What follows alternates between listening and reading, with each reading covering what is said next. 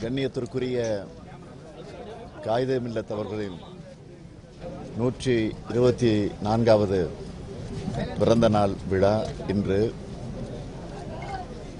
அதிலும் குறிப்பாக இந்த ஆண்டு அவருடைய பிறந்த நாள் வரக்கூடிய இந்த நாளில் ரம்ஜானும் கொண்டாடக்கூடிய ஒரு நல்ல வாய்ப்பு கிடைத்திருக்கிறது. ஆகவே அந்த உணர்வோடு திராவிட முன்னேற்ற கழகத்தின் சார்பில்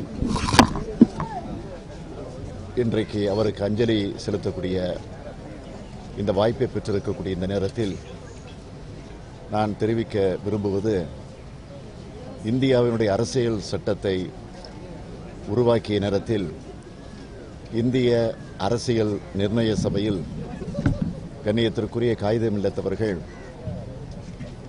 மத்திய ஆட்சி மொழியாக ஆட்சி மொழியில் ஒன்றாக தமிழை ஆக்கிட வேண்டும் என்று அன்றைக்கே அவர் குரல் கொடுத்திருக்கிறார். இன்றைக்கு இருக்கக்கூடிய சூழ்நிலையில் மும்மொழி திட்டம் என்கிற அந்த பெயரில் இந்தியை திணிக்கிற முயற்சியில் இப்பொழுது இருக்கக்கூடிய மத்திய ஆட்சி ஈடுபட்டிருக்கிறது.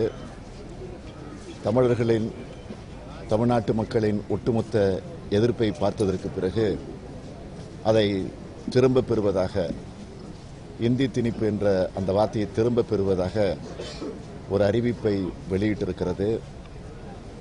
ஆகவே இந்த நேரத்தில் நான் தெரிவிக்க விரும்புவது தமிழ் மொழியை மத்திய அரசு அலுவலகங்களில் கட்டாய மொழியாக்க உறுதியெடுக்கக்கூடிய நாளாக இந்த நாளை எண்ணிட வேண்டும் என்று நான் கேட்டுக்கொள்கிறேன் அதற்காக திராவிட முன்னேற்றக் கழகம் தொடர்ந்து குரல் கொடுக்கும் என்ற உறுதியை நான் இங்கு நினைவுபடுத்துகிறேன்.